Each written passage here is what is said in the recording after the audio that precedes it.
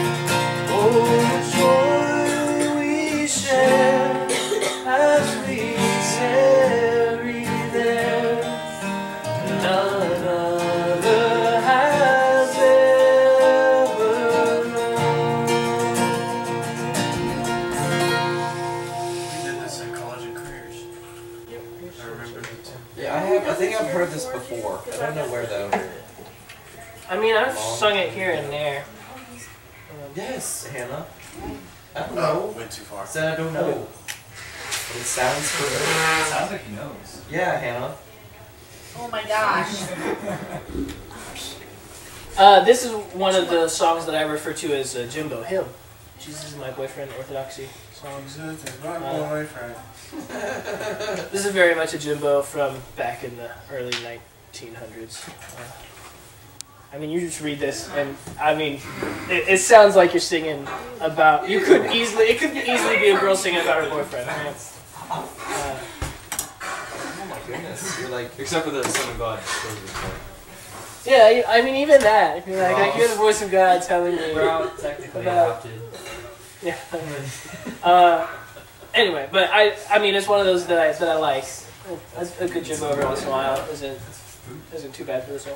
Uh, I come to the garden alone while the dew is still on the roses, and the voice I hear falling on my ear, the Son of God discloses. Uh, point, meaning, God's talking to me as I spend time with Him. God is communicating. yeah. Not the greatest theology in the world, but so be it. And he walks with me, and he talks with me, and he tells me I am his own, and the joy we share as we tarry there, none other has ever known. I don't actually know what tarry means. Hang spend around. time. Hang out. As we linger. Loiter. Yeah. So what's what's the writer saying?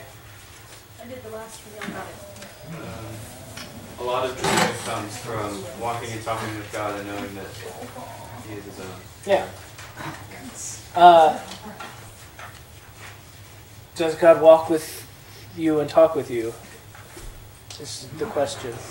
The dark version.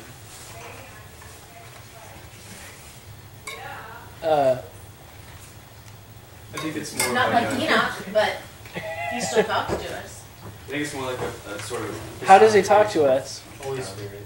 How does the Holy Spirit talk to us? Through, Not with English. Huh? through the way we feel. The Holy Word. I'm going here. This this is how the Holy Spirit talks to us. Right. But also other through our believers. conscience. He uses other believers to speak truth to us. It's, it still comes from the Bible, but Yeah. he does like directly use other people. Because otherwise, why are we doing what we're doing right now today? He's speaking to us through you as you're teaching us about Revelation. Gotcha. Okay, I'm, I'm with you now. It's the question. Of, the, the question of how, in what sense are we talking about?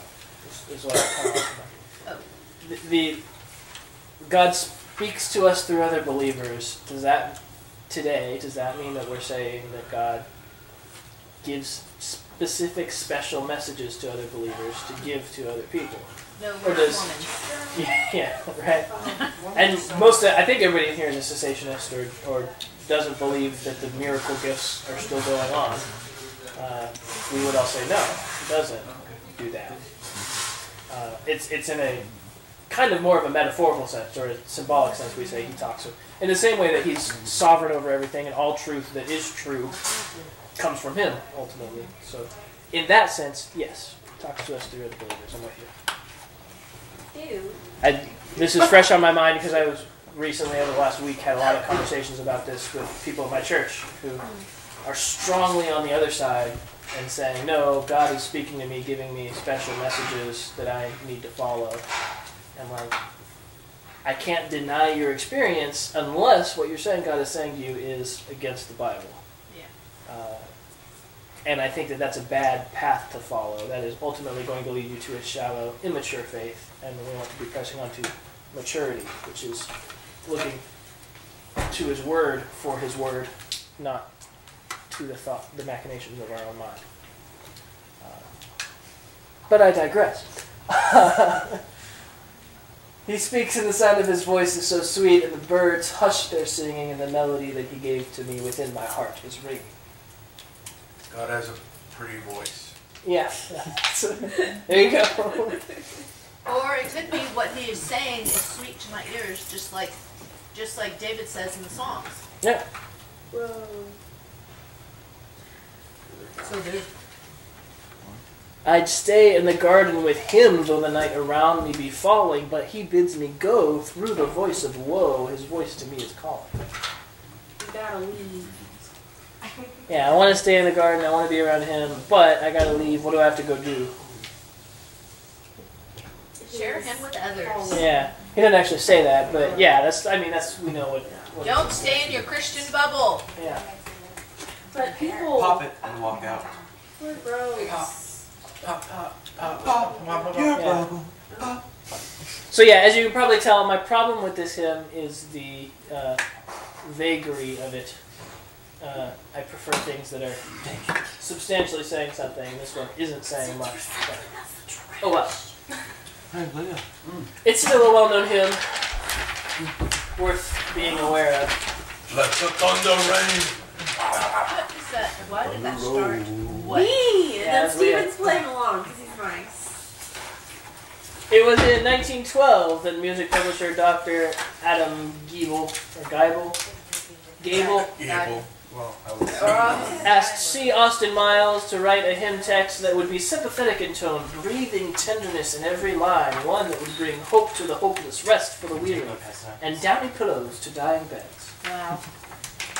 Miles himself left the following account of the writing of the resulting hymn. One day, in March 1912, I was seated in the dark room where I kept my photographic equipment and organ. I drew my Bible toward me. It opened at my favorite chapter, John 20. Whether by chance or inspiration, let the reader decide. That meeting of Jesus and Mary had lost none of its power to charm. As I read it that day, I seemed to be part of the scene. I became a silent witness to that dramatic moment in Mary's life when she knelt before her Lord and cried, Rabboni! My hands were resting on the Bible and I stared at the light blue wall. As the light faded, I seemed to be standing at the entrance of a garden, looking down a gently widening path, shaded by olive branches. A woman in white, with head bowed, hand clasping her throat as if to choke back her sobs, walked slowly into the shadows. It was Mary. As she came to the tomb upon which she placed her hand, she bent over to look in and hurried away. John, in flowing robe, appeared, looking at the tomb. Then came Peter, who entered the tomb, followed slowly by John. As they departed, Mary reappeared, leaning her head upon her arm at the womb, at the tomb. She wept. Turning herself, she saw Jesus standing, and so did I. I knew it was he. Excuse me, I knew it was he. She knelt before him with arms outstretched, and looking into his face, face cried, Rabboni. I awakened in full light, gripping the Bible with muscles tense and nerves vibrating under the inspiration of this vision. I wrote as quickly as the words could come could be formed. The poem exactly as it has since appeared. That same evening, I wrote the music.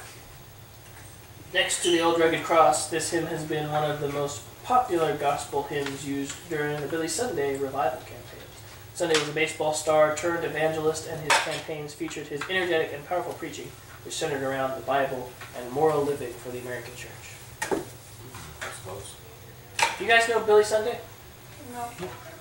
Isn't he the one that, uh, what's his face? Holy cow, hang on a minute. Um, Billy, Billy Graham was saved at one of his crusades or something. I had that thought also, and I think that might be correct. Uh, Like, a, it's, uh, or, no, wait. It's, it's a different Sunday that used to lead his music, right? Or no? I don't know. I'm not sure. I'm confused. But Sunday is Everything somehow associated in my mind O'Rourke. with Billy Graham. I don't know what, but how. Oh, sorry. Is my audio coming through there? Billy Sunday is probably the biggest American revival preacher, uh, at least of the of the 20th century for sure. He had a bigger following than Billy Graham. Really? For I didn't know I that. looked it up and it says William Ashley Sunday. Wait. Bill is short for William. Oh. Uh, so this is Billy Sunday preaching. It's like Bob short for Robert. I love it.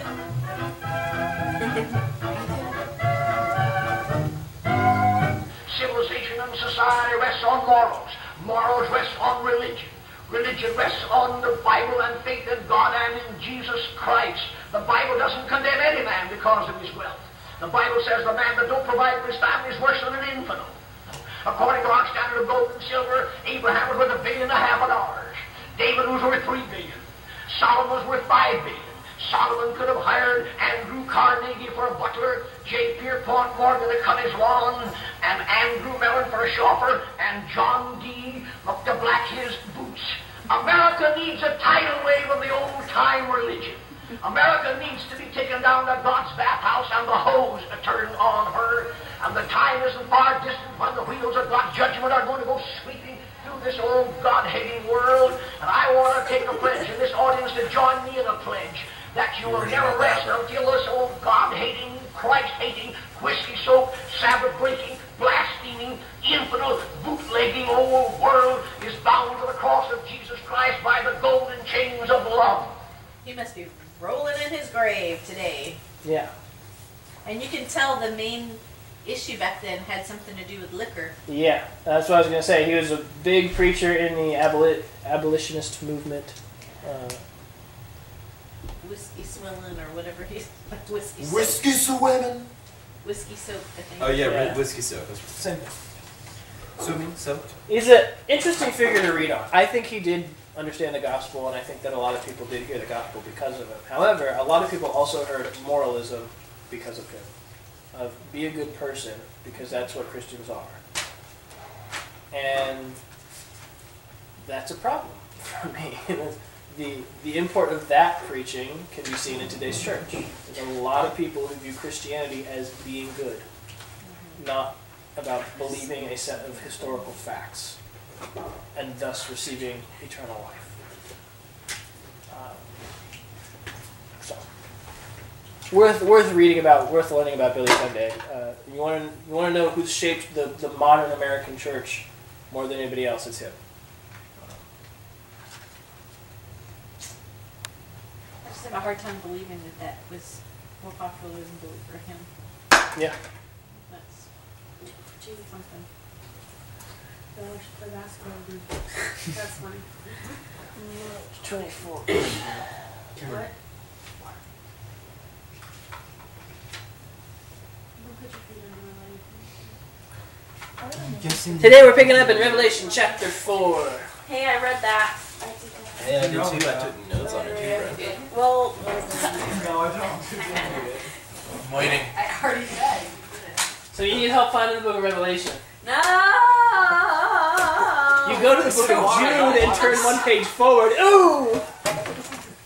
What'd you say? He did it different, It said- but still annoying. uh, A throne in heaven. in Revelation chapter 4, what's happened so far in Revelation? Somebody give me the outline of Revelation?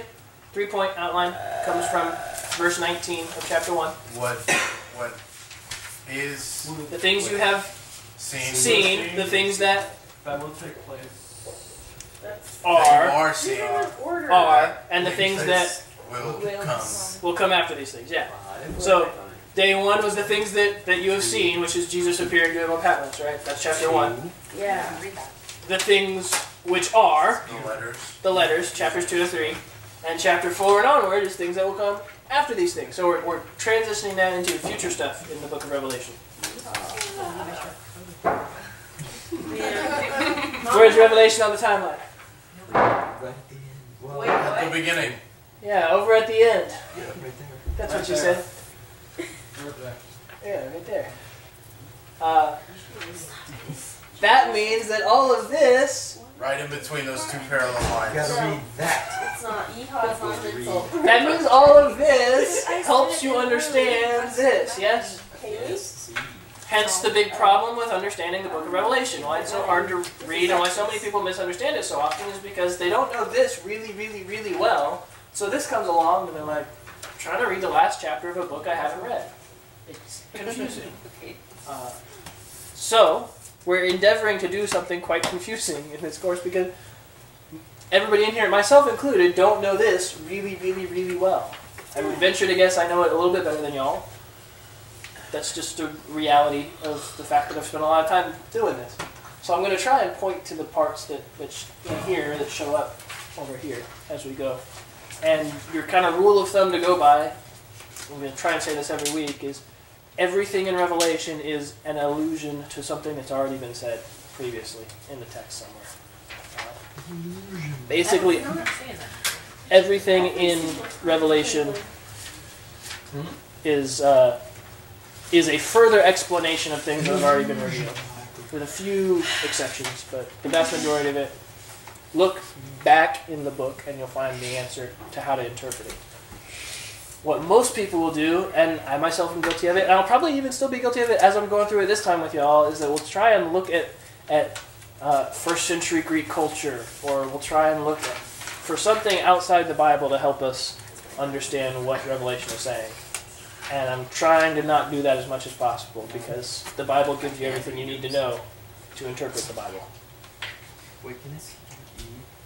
Yes, I can see tonight. All of those prefaces said, picking up in chapter 4, so we're right there with the heavenly scene. We're starting into the after these things.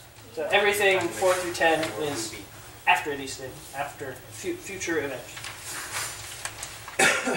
and did we read it? Who didn't read it? I, I read it. If you didn't read it, raise your hand. I didn't read it recently. Okay. I have read it in the past. Okay. I fully intended to read it. Well, that's just as good as having read it. Road to hell is paved in good intentions. Basically, there we we get a picture of heaven, and we'll we'll read the beginning parts really slowly and carefully, and then I'll, I'll kind of speed through and be summarizing for you what's happening. But um, we're gonna look at the image, the thing that he sees. There's a lot. Of, this is where the weird stuff starts. This chapter four.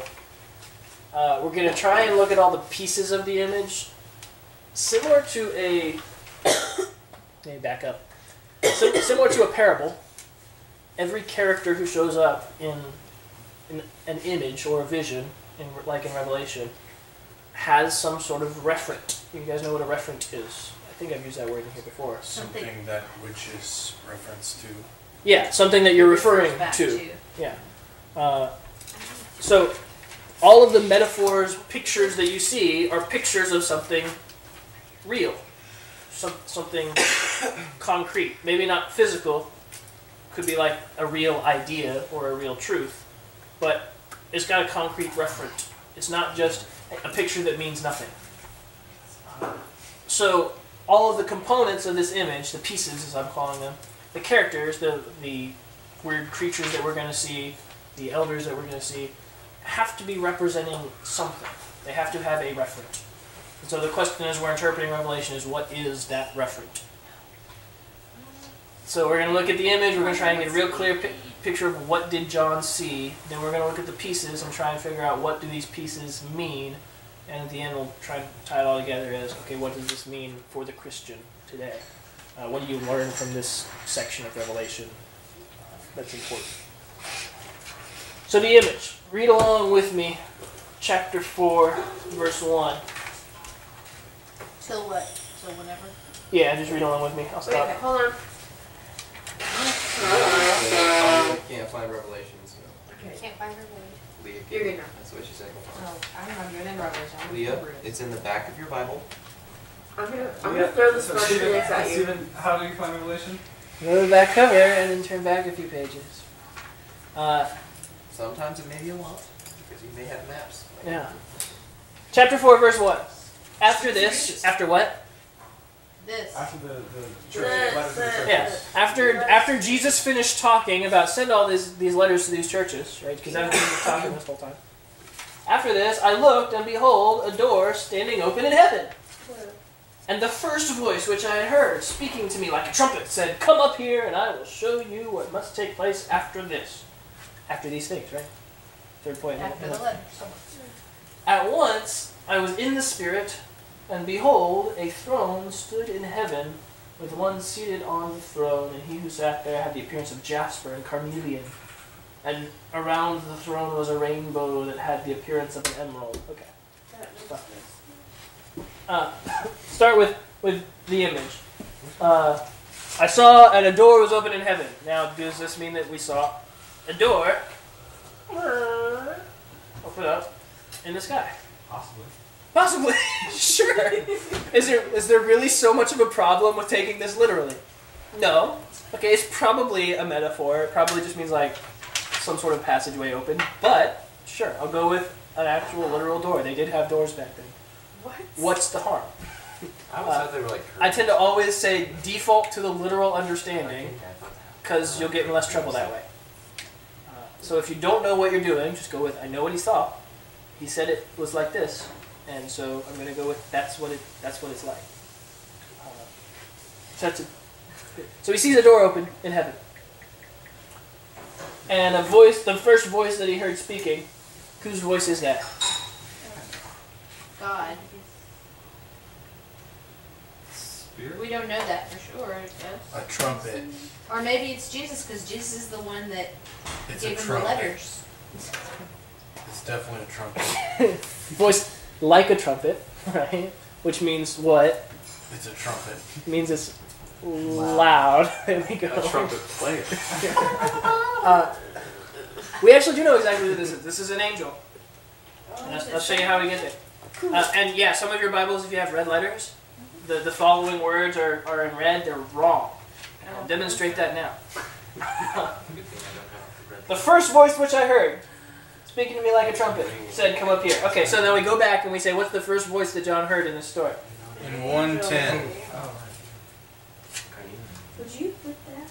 Yeah, 110. I was in the Spirit on the Lord's day, and I heard behind me a loud voice like a trumpet saying, Write what you see in a book and send it to the seven churches, to Ephesus, Smyrna, Pergamum, Thyatira, Sardis, etc. And I turned to see where the voice was coming from. I turned to see the voice that was speaking to me, and on turning, I saw Jesus. And we assumed that that seems like Jesus is the one speaking. But no. Uh, there was a voice, sounds like a trumpet, speaking to him. Write what you see. Okay? Whose voice is that? Go back up to chapter 1, verse 1. The revelation of Jesus Christ, which God gave him to show to his servants the things which must soon take place. He made it known by sending his angel to his servant John, who bore witness to the word of God and the testimony of Jesus Christ, even to all that he saw. This is one who reads the words of this prophecy. So he received this vision by the mediation of an angel on the direction of God. With me? That's what he says in chapter 1, verse 1. So why is Jesus there if an angel is the one speaking? Because he can be. Yeah. Jesus is to get John's attention? So, so you're saying that, like, when you said that those who have red letter Bibles and that it's in red letters is wrong, Yeah. so all of this is not supposed to be in red, or were you just talking about? Just chapter, Chapter 4, four. verse 2 or Okay, verse 1. okay, okay, okay. The voice who says, Come up here and I will, I will show you, is the voice of an angel. An angel. And that, and the, it's the one he heard first. it's the one he's heard first. It's the one who said, Write what you see in a book. And John uh-huh. says, I received this by the mediation of an angel. Uh-huh. And we keep going and we find out later that this voice shows up again. This, this guy shows up. and he's an angel. So the people who are translating your Bibles and put those words in red, the, the come up here and I'll show you what must take place after this thing. If they put them in red, they're wrong. Categorically, 100%. I know I'm right on this. Okay. Small point. Not really, not really that important. but uh, it's one of the few things I can be really, really, really sure about in Revelation. So I hit it hard. Uh, what does he see? Takes him up to heaven, or he's in the spirit, and he sees heaven. Heaven being uh, the dwelling place of God, right? Question? I have a question about in the spirit. Yeah. Does that mean that he was possible? Well, again, we don't really know, I guess, but supernaturally Ghost. taken. No, that's not what I'm talking about. Taken in this in the spirit as if like he were dead. And, Yeah, I, or I don't I know mean, exactly what he means by there's the phrase no- in the spirit. He started it off with, I was in the spirit on the Lord's day on the island right, of Patmos. right, in the seventh heaven or something like that. Uh, I think it has some sort of having a vision. Uh, the way that Daniel had visions, and the way that Ezekiel had visions, and the way that all the people had visions so, before. Did they John's using the phrase "in the spirit" to to describe this. Oh, okay, I was just going to ask if the ones in the Old Testament speak of in the spirit. Yeah, no, they don't use that phrase. No, Yeah. Okay. Uh, this is fairly unique to John. Uh, so, what does he see? Read along with me. Chapter 4, verse 2. And once I was in the Spirit, behold, the throne stood in heaven, with one seated on the throne. And he who sat there had the appearance of jasper and carnelian, and around the throne was a rainbow that had the appearance of an emerald. Around the throne were 24 thrones, and seated on the thrones were twenty-four elders, clothed in white garments with golden crowns on their heads. From the throne came flashes of lightning, and rumblings, and peals of thunder, and before the throne were burning seven torches of fire, which are the seven spirits of God. And before the throne there was, as it were, a sea of glass, like crystal. And around the throne, on each side of the throne, are four living creatures, full of eyes in front and behind. The first living creature like a lion, the seven, second living creature like an ox, the third living creature with the face of a man, the fourth living creature like an eagle in flight. And the four living creatures, each of them with six wings, are full of eyes all around and within.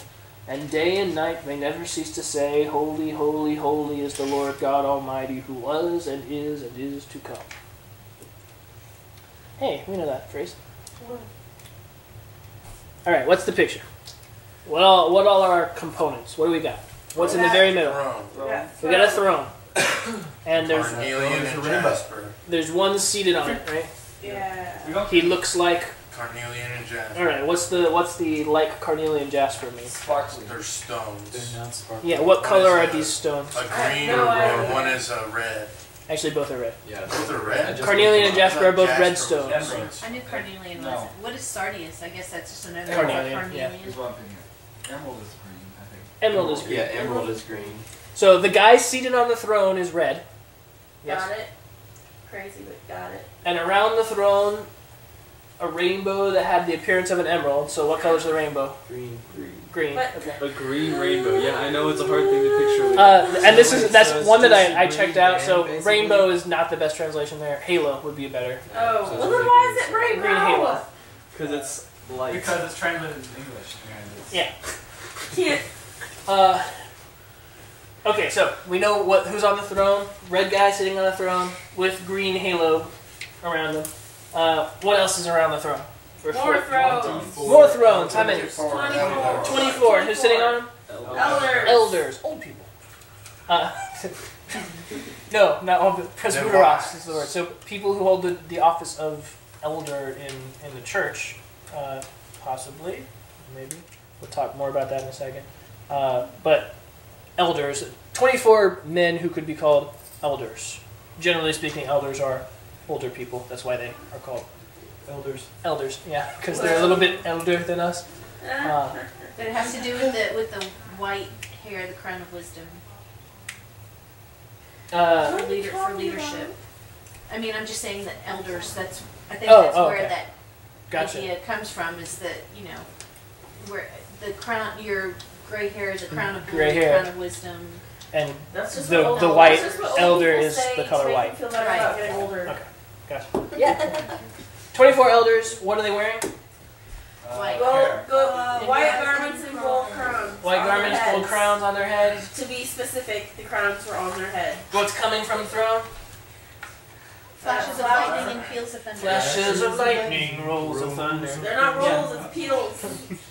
And before the throne were what? Seven lamps. Seven lamps, which are what? The seven spirits. Seven. The seven spirits of God. Okay, we know what the seven lamps are. They're the seven spirits of God. What does that mean? We'll get to that. Nine. Well, and mine has a s- has a footnote of sevenfold spirit. The sevenfold spirit. That's God. even Yeah. more There's seven confusing. spirits. We'll, we'll get to that. Okay. I want to make sure we understand Promise? the image. Promise, yes. Okay. And all. Uh, and what what's what's out stretched out before the throne? Beasts. Four Sea of glass. creatures. Sea Oh, yeah. like, Like crystal, or like glass. Uh, a big expanse of space. Yeah. Clear. All right, four beasts. Is that what your translation Four is? Beasts? living Yes. Which- says which four version? living Four creatures. living creatures. Yeah, mine Mine says says four living Full of creatures. eyes and front and back.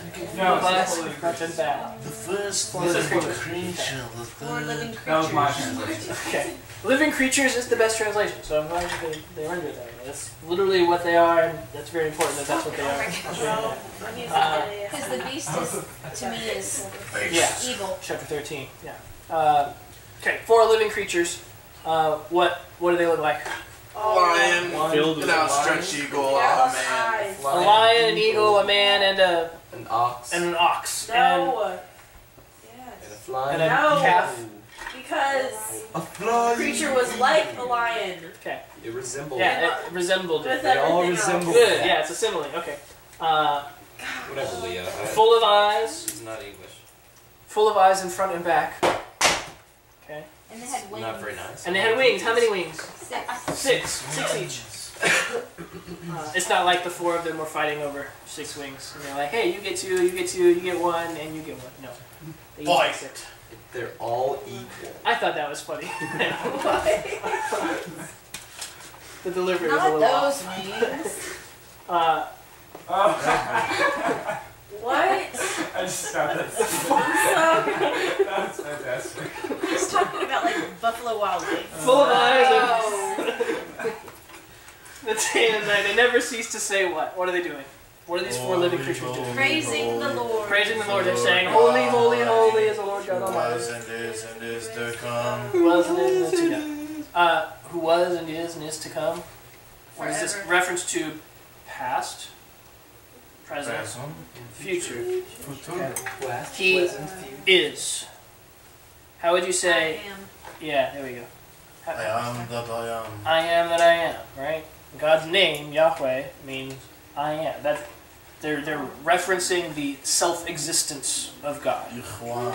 Anybody remember back from when we did theology with the self-existence, the fancy theological word? No, but I'm sure if you I thought I heard somebody say it. Maybe I was Well, just if you hearing things. tell us, then we can tell The you. aseity of God? Oh, Yeah, no. that's what I said. The what? what? The Aseity? aseity of That does not even ring. The self-existence of God? Oh Uh, he is. He The I say. Alright, we got the picture, yeah? Wait, so a little bit of a tangent. Uh, by saying God is, is it everlasting or eternal? Uh, both. Okay. Wait, give me your definitions so I can. Eternal is more like outside of time. Everlasting is within time. Okay. Uh, yeah, I would still say both. Okay. Uh, all right, we got the picture. We know what's going on. Yeah, we we know what the pieces are so far. Verse nine. And whenever the living creatures give glory and honor and thanks to Him who is seated on the throne, so the four beasts, whenever they're singing this song, which is when All the time. all the time. All the time. It's burning. And through that whole time, the elders are The 24 elders fall down before him who is seated on the throne and worship him who lives forever and ever. They cast their crowns before the throne, saying, Worthy are you, our Lord and God, to receive glory and honor and power. For you are you created all things, and by your will they existed and were created. Yeehaw. Where is it? Alright, that's chapter 4. What are Uh, I can't say let's. Yeehaw, Texas, so I'll just settle for I'm going to decide to skip ahead to this. We're just. I'm going to show you three different artist renderings of this. I want, want you to tell me what they get right and what they get wrong. Okay. I'm watching. They're Wait, not wait, placed Yeah, she around the threw it at throne. They all Thank have you. wings. God. Okay, they all have wings. Six of them, yeah. Six wings. We've got the lion, But the they are man, on the each side ox, of the the throne. eagle. Uh, Are there actually 24 elders? Yes, there are. Just counting. there's 24 elders. Uh, all. is this guy the right color? Yes. Yeah. Apparently. Is the is the bow, the halo, the right color? Yes. Yeah. Yeah. Okay. What about this? seven lamp? Yes. Okay. Seven. Pretty good job, right? wow. The beasties aren't on all sides of the throne, though. Right. Okay. So the beasts aren't all around. The, the elders aren't all around, right? Because they gotta open it up for the camera. They are not full of eyes. They're not full of eyes. There we Oh, go. yeah. Well, Oh, with yeah. the body. Yeah, they are. They could just Yes, be. But the are. wings, they aren't on the wings, and it says in Yeah. the Weren't- scripture weren't that they are under the wings, though? Or that's just Yes, it says an even artist rendering and they just look sort of like pine cones. Yeah. Yeah, but I think I mean, those be could be eyes. eyes, though, but.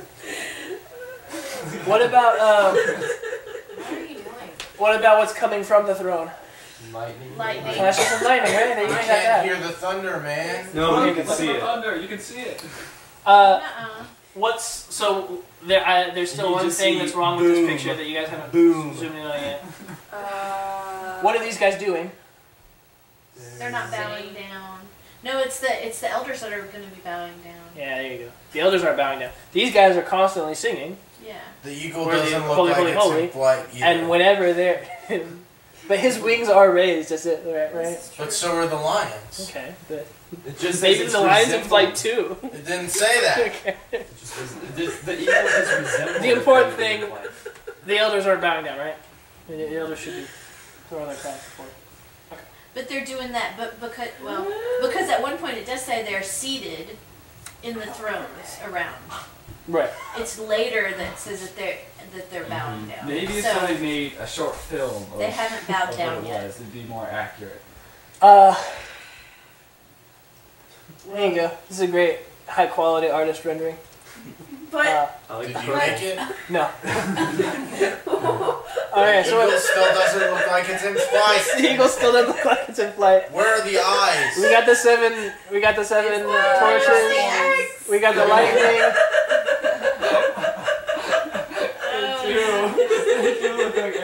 We got the twenty-four elders. That's an actual rainbow. It's not like emerald. There you go. Mine's Okay, so green. the rainbow is actually rainbow, not emerald. So What's I think next? What that's- is the the circle is Where's the sea of glass? Where's the sea of glass? It's So maybe green. This, or, or pur- purple, or purple. perhaps the green circle It's is what very the, obscure. the rainbow is. Yeah. So they have a, little, a few things off. What is but the thing Wait, what's the, yeah, what is, it looks like that? He's this is chapter five, so we haven't gotten the- there yet. Oh my It's a palm tree with a face and terrifying. legs. No, that's the. He's that's not the fully shit. red. It kind of looked like the elders had wings too. It did, but I think those were robes. I like this one. Yeah. Oh, yeah. Very cool. That one's nice. All right, the elders are all What is bowing oh. as they should be. You got the green halo. You've got the the one the big problem is No he's not red. And there's no lightning. And there's well, I mean, That's not lightning. And is that okay? Is that They're seven lamps or is that one lamp with seven fires? yeah. Okay, so this is this takes the seven torches as as a reference to The the menorah. menorah, uh, the seven lamps that exist in the temple. I actually like that. Uh, that's probably more accurate to what uh, was. I just Um, need to work what on is- their eyes. Yeah, what, I don't remember the symbolism of the menorah. Like, why does it look lit? With the seven, seven flames or whatever.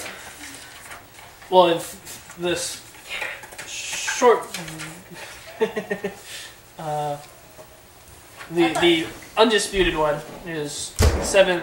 The seven branches of the menorah represent the seven days of creation, Okay. and so when they light light the the, the lamps each day, the seventh day represents the day on which God rested.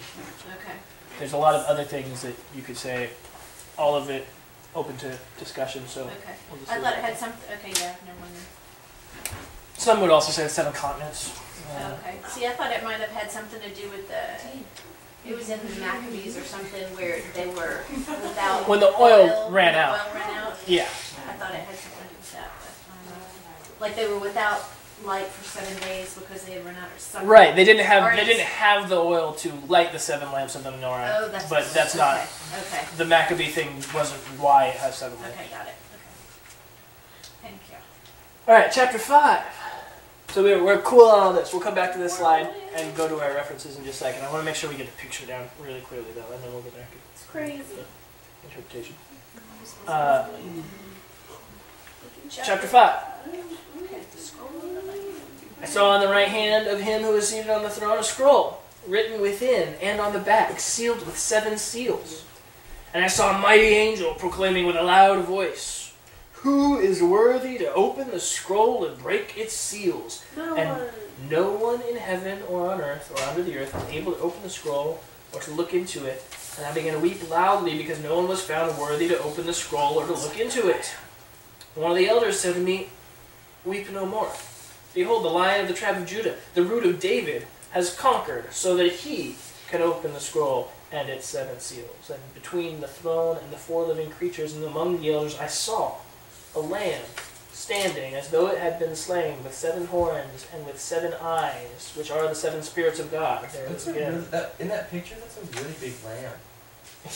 It was really terrifying. sent oh out into all the earth. Verse 7.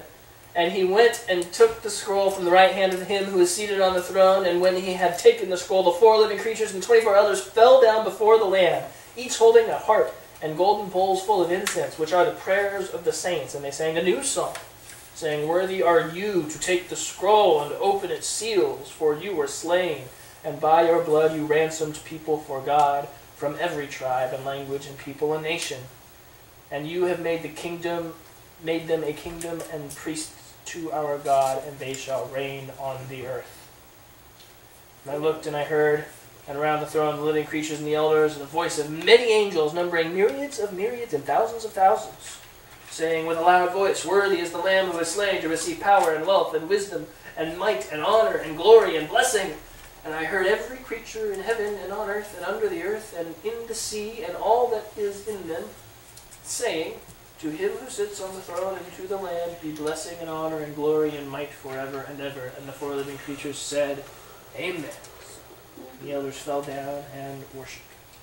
All right. So, what new pieces introduced to the picture? The lamb. The The scroll. lamb. A scroll first, yeah. See this scroll in where is the scroll? And some right, not. Mm, The right hand. yeah. The right hand of the one who's sitting on the throne. Yeah. The right hand of the red guy. Uh, and what's it got on it? Seven Seven seals. seals. The seal with seven seals. So you guys know what this picture looks like, right? What a scroll with seven seals looks like. Like that. Yeah. You're, you're seeing the seals on the scroll with me? Those seals are poorly positioned. Yeah. Yeah, you would think that God would be more exact. Yeah. But that's an actual image of the scroll in heaven. So. uh, What can we do? And Stevens and Aaron. So Wow, I thought we had gotten rid that one. Of course not. What else shows up? So he sees the scroll. Nobody's worthy to open the scroll. So what does John do? He Surprise! And who taps him on the shoulder and says, "Hey, cut it out." an elder. Elder. An elder. He says, "Hey, look, who's coming?" The lamb. Slain The lamb. slain lamb with seven eyes and seven. No. Yeah. What is? Who does he say is coming? You don't The understand. lion. Oh, right. The lion, Lion of the tribe of Judah? The root of David. The root of David was conquered, and he's going to open the seven scrolls. Yeah. But you just got to be really specific, Right. okay? Right. Yeah. Yeah. Right. Right. And then we see what? In, The- the next to the Lamb. saw amongst them standing next to the The next to the throne the lamb. He's got seven eyes and seven horns, Yeah. and he's standing as he's-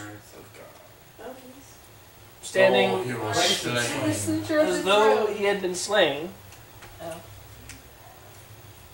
Seven eyes, seven horns, and he went and took the scroll, and when he taken the scroll, everybody, all heaven breaks loose, right? They're like, yes! Somebody is worthy to take the scroll. Huzzah. So, Ron is saying he's standing in the center of the throne, encircled by the four living creatures and the elders. So it Yeah. sounds like he's taking the place of the red man. Not quite. Uh, so it's center of the throne. The really the most literal you go is he's in the midst of. Okay, so he's just in the middle with the red man. Right. They just not they're not saying red man, right? Yeah, he's standing amidst the throne. Okay. Uh, same same with the four living creatures. By the way, they're they are amidst the throne. Uh, It could be a large throne. Yeah, Why is he It could be a really, So around. seat, in the midst of. all Okay. sitting on. Okay. Or it could be like, Okay. like a Takes the scroll and everybody starts worshiping. You with me? We got the picture. Yeah. Or, because heaven This is is a cube. appropriate to say Yeholia. Yeehaw. There you go. All right. Heaven. Which one did he giant see? Ah! They all sit on it. Definitely. Which The- one did he see? The first one. Look, look at it. Look, here it is. What does it Eyes, mean? Nose would be- That's a stubby Right. hand. Because he had to somehow He's- fit seven eyes on a lamb. Is he here? Hey, wait a second. Okay. That doesn't look like a lamb. Right. That is a lamb. And it doesn't have any puncture wounds in it. Okay. It doesn't look But slain. technically, wouldn't its throat be slit though? Right. Depends on how you All right. kill a lamb. And he does have a nose. We're clear on the picture. no, its yes. eye, its Yeah. nose or its All right. Let's start It's talking about the pieces. But yeah. don't know. Hold Oh on. my I don't gosh. get it. Go back. What? Because you have the seven horns. It's the same thing, just different interpretations. Wait. How many eyes is that? Seven. Look at the nose. One, two, three, four, five, oh. six, Oh. and the ones that's hidden that you assume is on the other side where a normal eye would be. It's terrifying. Yeah, because And it doesn't Safe to look like assume it's things. slain. And Of then course. his brown eye. He actually has Alright. eight, his brown eye. Let's look at the pieces, okay? Start with uh, the throne of the four living creatures. What are, what are they? What? The, The throne. Who's the one sitting on the throne? Uh, What's, God. what's your Red best guess? Probably God. Red man. We're gonna say God. Why, why do we say God? Well, Because like that. if the lamb shows up, that means that the He's gonna answer the Red question. That was a rhetorical question. Flip over to Daniel to 7. me it didn't sound wrong. Daniel 7? Yeah. Hey, I was reading Daniel like two weeks ago, and then I just kind of stopped reading my Bible. Whoops. Daniel chapter 7. This is uh, a vision that Daniel receives about the, the nations that are going to follow Babylon. Okay? Okay.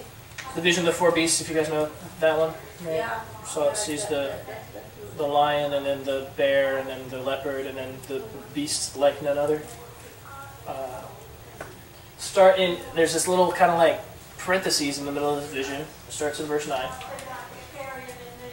As I looked, thrones were placed, and the Ancient of Days took his seat. His clothing was white as snow, and the hair of his head like pure wool. His throne was fiery flames, its wheels were burning fire.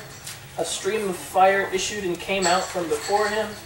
Thousands and thousands served him, and ten thousand times ten thousands, or you might say myriads on myriads, stood before him. Court sat in judgment, and the books were open. You see the similar picture, yes? Yeah. All right. Throne, one sitting on it, the Ancient of Days. Uh, skip down to verse 13. And I saw in the night visions, and behold, the clouds of heaven. There came one like a son of man. He came to the Ancient of Days and was present, presented before him. And to him was given dominion and glory and kingdom. That all peoples, nations, and languages should serve him. His dominion is an everlasting dominion, which shall not pass away, and his kingdom one that shall not be destroyed. We're seeing the same picture, right? Described differently, but we got a throne. Ancient of Days comes on the clouds, stands before him, and to him is given dominion glory and honor and power, which is pretty close to what these angels say when he takes the scroll. So the one who's sitting on the throne, Ancient of Days, God. Uh, appearance like jasper and carnelian. Why is he described as red? I think Fire. Burning anger. possibly that. I, I think it's more of a reference to those stones in particular, where you see those stones show up. You see them show up in the garden. You see them show up on the ephod, and it's the last stone. yeah. Makes sense for you? Question mark? The ephod is the last stone on on the, the the jasper is the last stone on the ephod. Second time. The ephod is what the priest wears. Oh, okay. I hit my head on that. This is the end. He's, he's letting you. He's cluing you in. This is the end.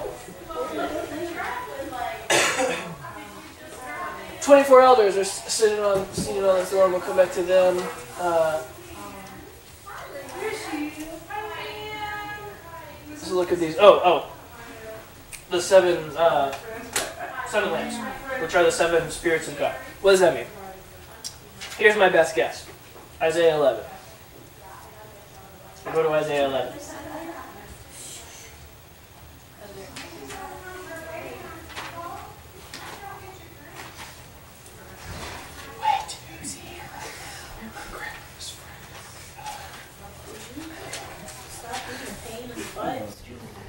Isaiah 11. What's Isaiah 11 about? Anybody remember? What? You guys know Isaiah real like the back of your hand, right? Definitely. So when I say chapter 11, you go Back to somebody else's. Strength. like the back of my hand. Whoa, that's new. Uh, 11, 1 through 3? That Yeah. what you said?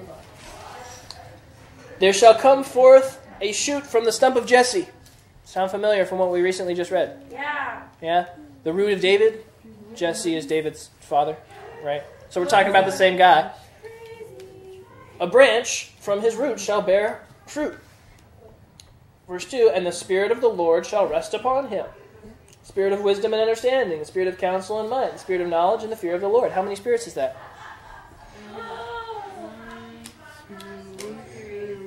Seven. There you go.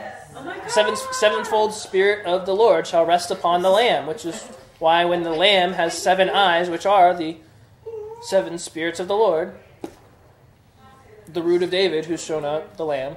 I think that that's a reference to Isaiah 11. I think that's that's what we're talking about. So we're talking about the the image of God, the attributes that contribute to His one Spirit, I Uh, six.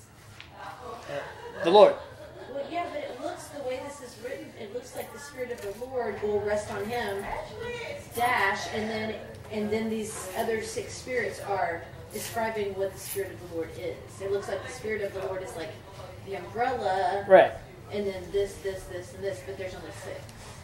Yeah, it's it's, it's more of so so the way I, the image I would give you to do is the six days of creation, and the seventh he rested. The seventh one's different. The seventh one is the Spirit of the Lord, the culmination, the finality of it, the Spirit of the Lord. So that's one, and then your other six add, kind of like uh so it's it's the it's the bigger, better, final summing up kind of thing is the Spirit of the Lord, but it's still one of the seven full. But that's my best guess as to what what we're talking about. The sevenfold Spirit of the Lord. They all have the same tone. yeah. Saying Where's it on the notes? I don't want to like write. It's Oh, there it is. under heavenly scene. Yes. Yes, number seven language.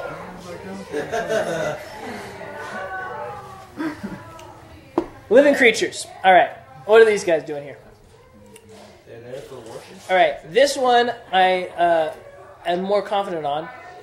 These are four angels whose job it is to guard and worship God.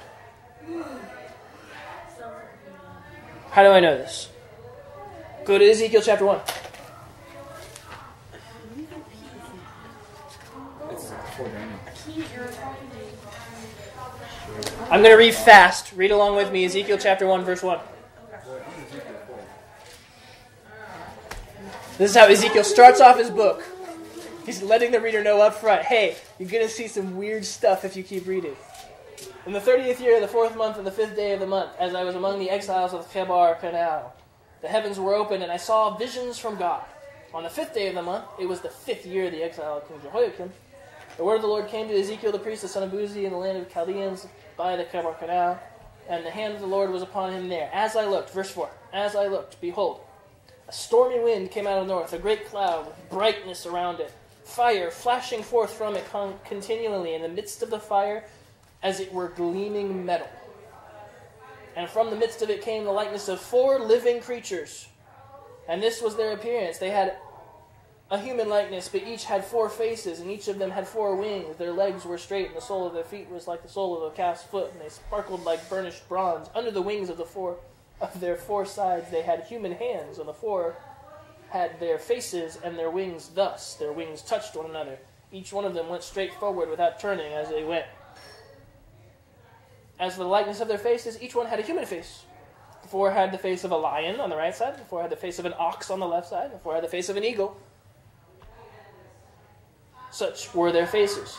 And their wings were spread about above. Each creature had two wings. Each of them touched the wings of another, with two covered their bodies.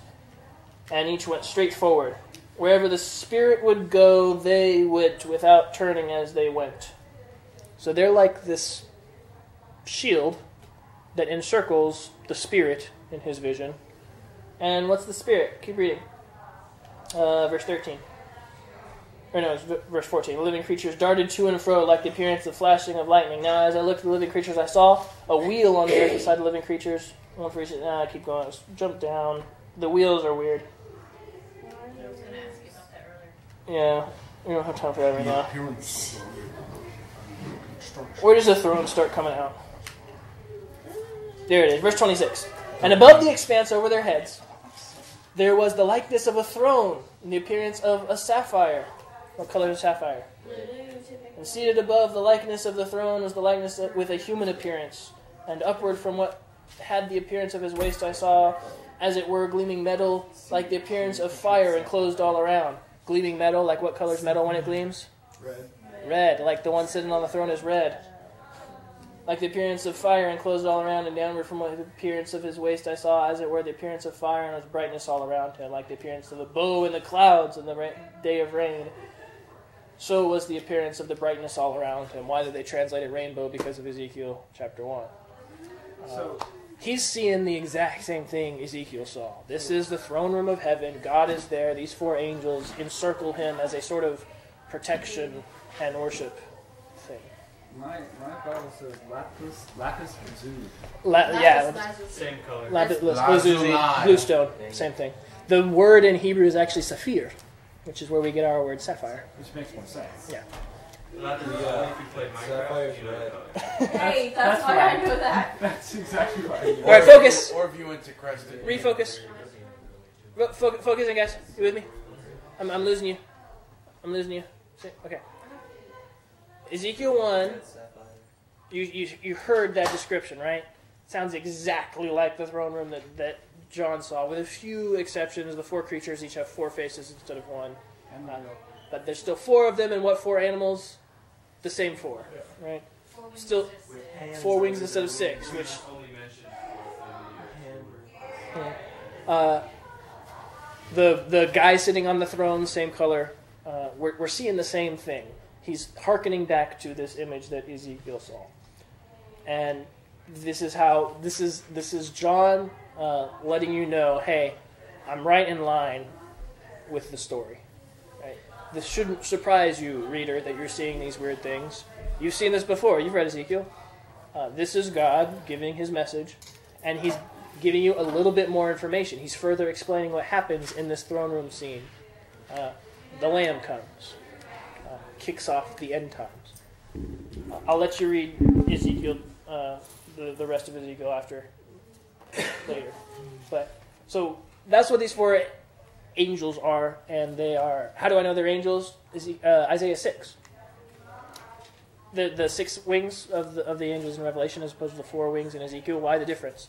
I think it's because John is pulling two different images to let you know uh, one, his authority. He's, he's drawing from the story.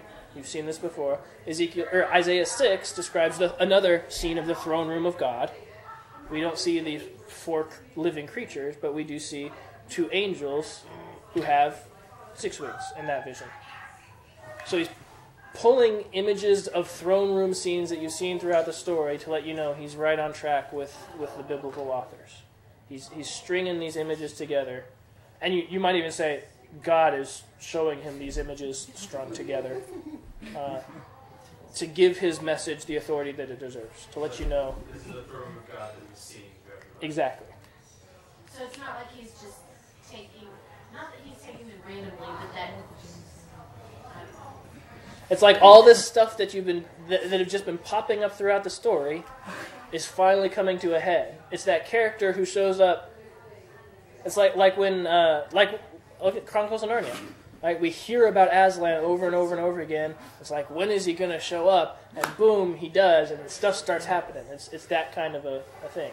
We've seen this a throne room, and we've gotten glimpses of angels, and we've gotten these four living creatures, and we've gotten the uh, the Ancient of Days, and and they've just been like we think that something's going to happen and they never do throughout the story and then finally we're here at revelation and it's going down uh, we're tying it all together all those loose ends all those images you saw before we're going to finish them up and, and bring them to fruition here in revelation again i repeat almost everything in revelation is a reference or an allusion back to something earlier in the story uh,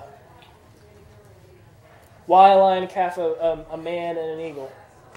I think these these four things represent these four animals.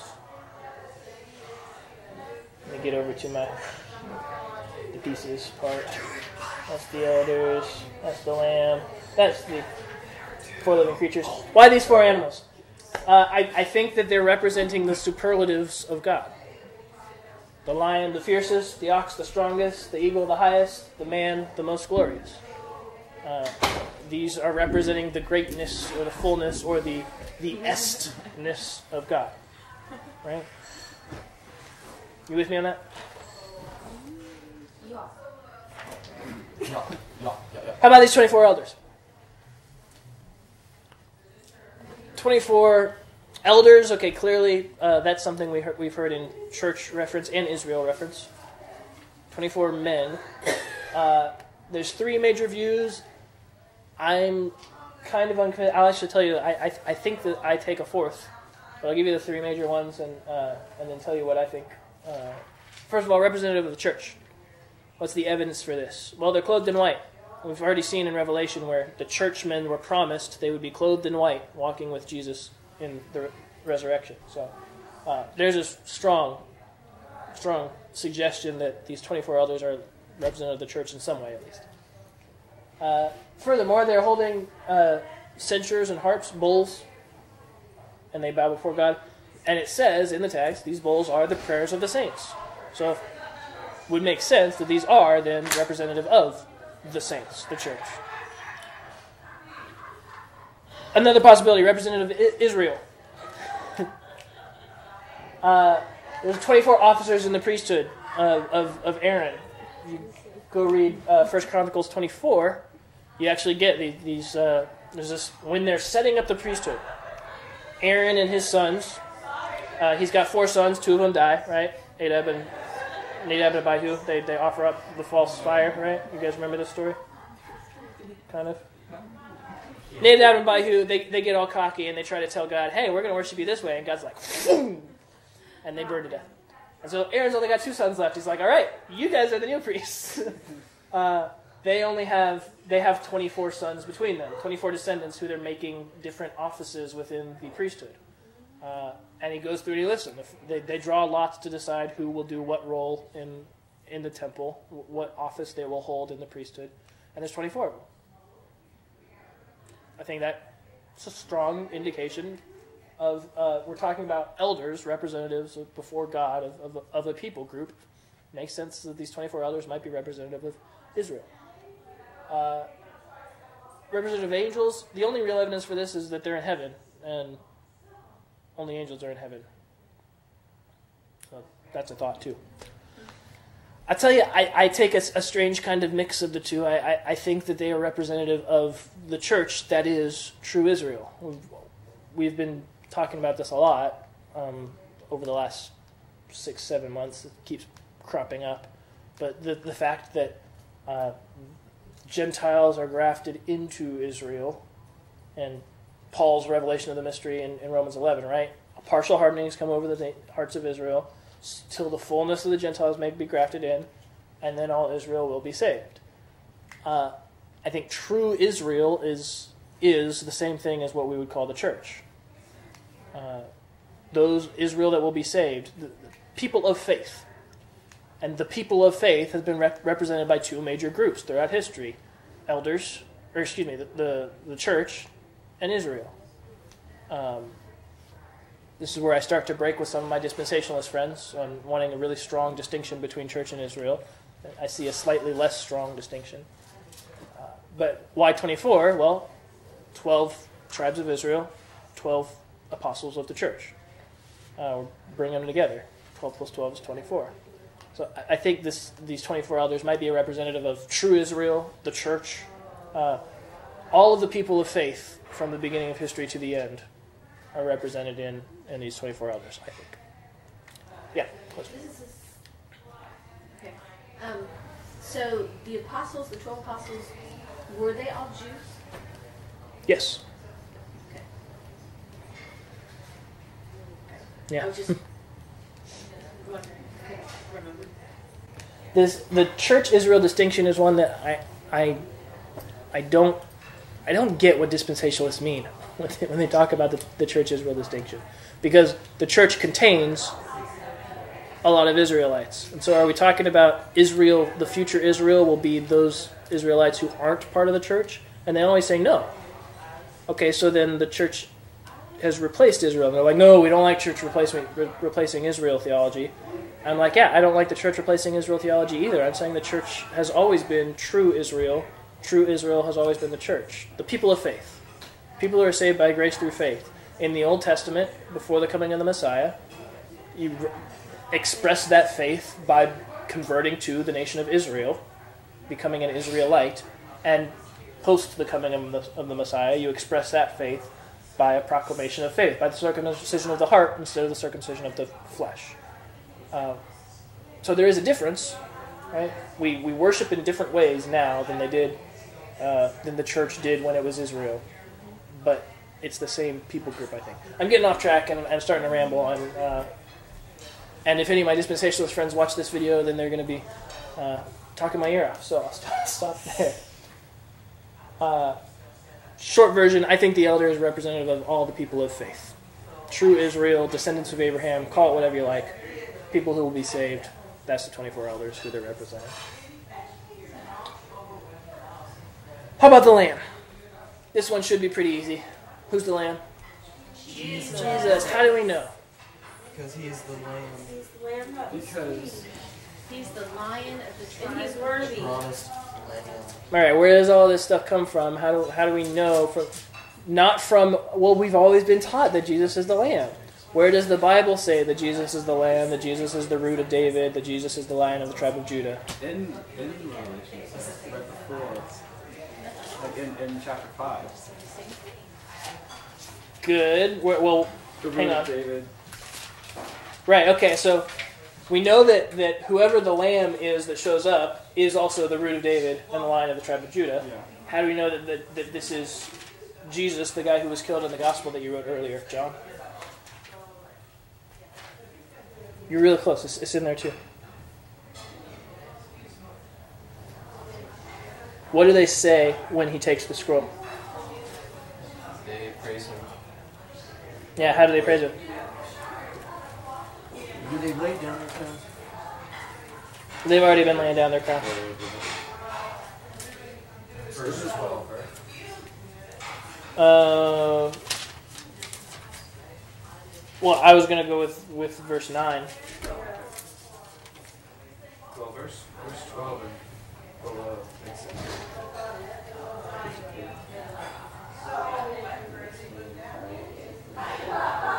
To receive power and wealth and wisdom and might and honor and glory and blessing.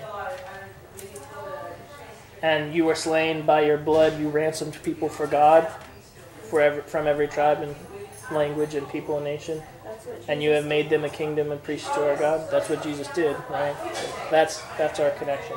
Uh, what is what is meant by Lion of the tribe of Judah? Okay, first of all, Jesus. How do we Lamb who is slain?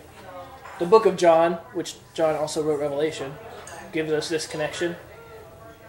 What is what does John the Baptist say in the book of John of Jesus when he first sees him? He says, "Behold, the Lamb of God who takes away the sins of the world." the. Lamb of God who takes away the sins of the world. All right, there's our connection in the biblical story. Jesus is the Lamb. All right, so when the Lamb shows up, who's taking away the sins of the world, boom, Jesus of Nazareth. We got it. That's that's where the Bible connects those things. Okay. Uh, what about the Lion of the tribe of Judah and the the root of D- David? Now you already already demonstrated, right? In Revelation, it says Lion of the tribe of Judah, the root of David, and then the Lamb shows up. So since the Lamb is Jesus, based on John 129, that means the Lamb, Jesus, is also the root of David and the Lion of the tribe of Judah. Where do those phrases come from? What do they mean? Good question.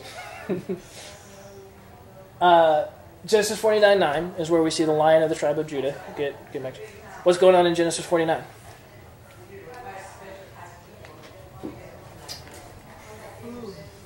Give you a hint. There's only 50 chapters in Genesis. So how does the book of Genesis end? I never read Yeah. 49 and 50 is some of the best parts. Death. death. it does end with death.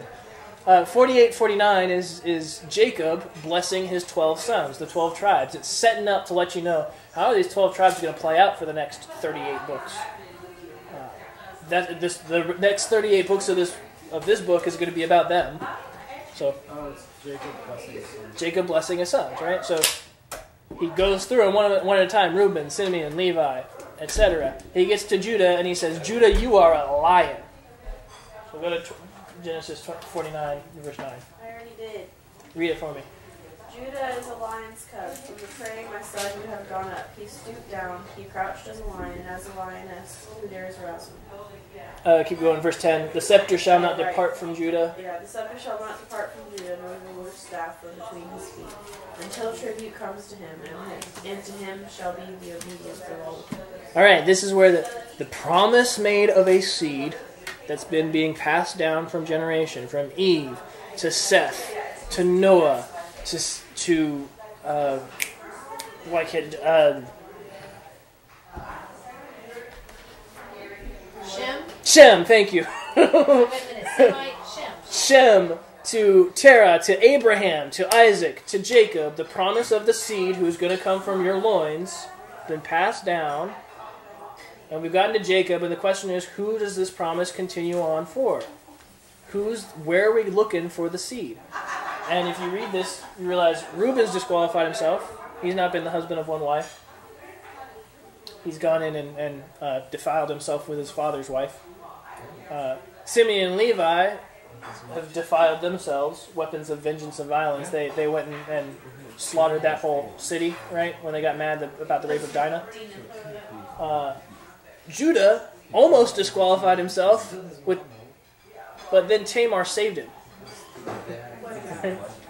Tamar came and, and did her whole thing to trick him into continuing the line of the seed. Uh, and um, you want to know more about that later. But if you read the read the uh, the blessings on, on his sons or the the promises to his sons, Reuben, you're my firstborn, my might, the first fruits of my strength, preeminent in dignity, preeminent in power, unstable as water. You shall not have preeminence because you went up forth to your father's bed and you defiled it. You slept with my wife. Huh.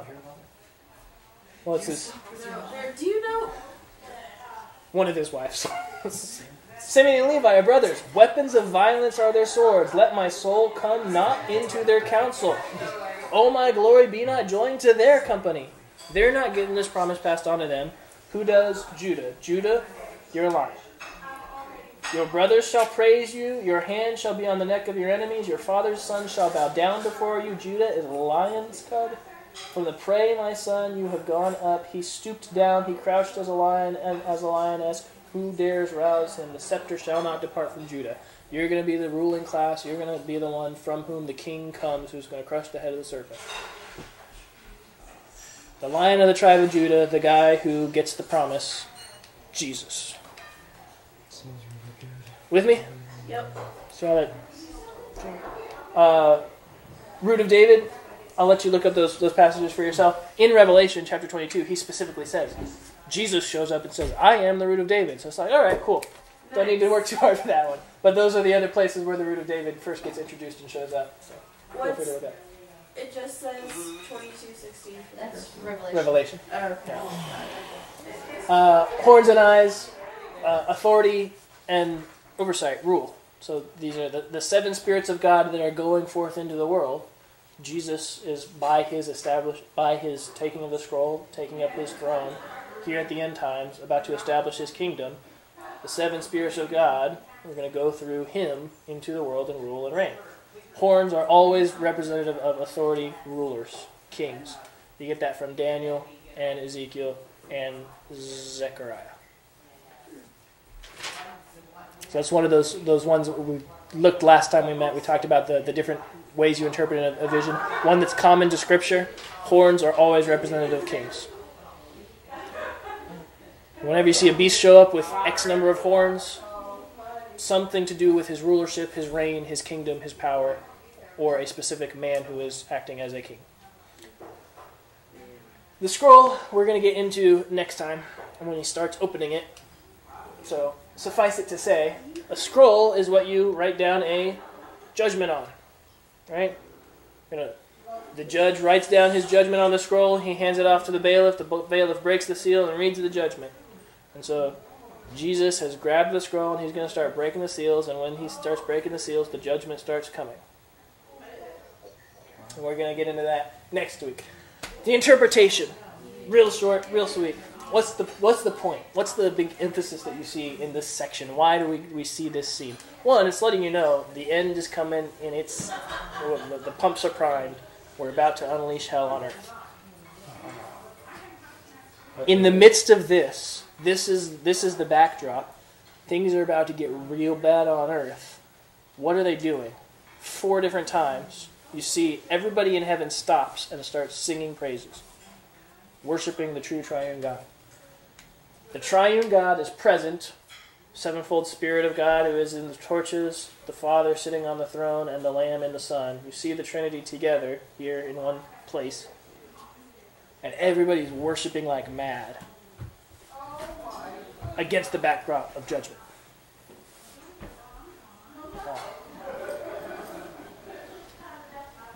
Do we have time? Yeah, we're not too far over time. So we'll finish up with this. For what reason does God receive worship in these chapters? So look at those, those verses I pulled up for you.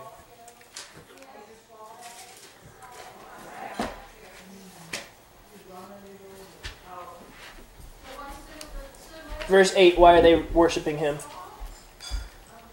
Doesn't say. Four eight. Yeah. Well, what do they say? What do they say while worshiping him?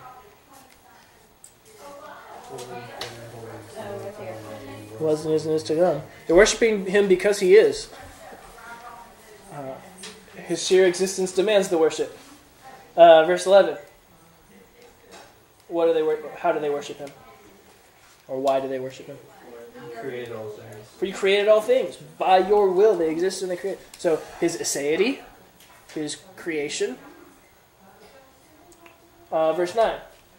They start worshiping the second person of the Trinity, the Son.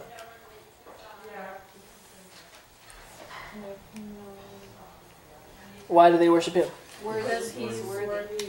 Worthy to take the scroll. What else? Why is he worthy to take the scroll? Because he Purchased was slain. with your blood and. He was slain. His blood ransomed people of God from every tribe, tongue, language, and- and nation. He created the church.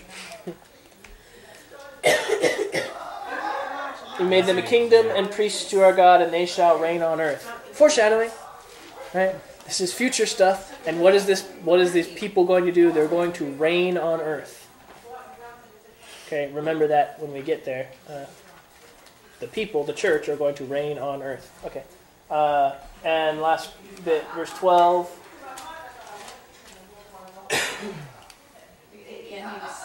Again, worthy, yeah, because, worthy because he was slain. And the last little bit of worship. Because he sits on the throne. Because he sits on the throne.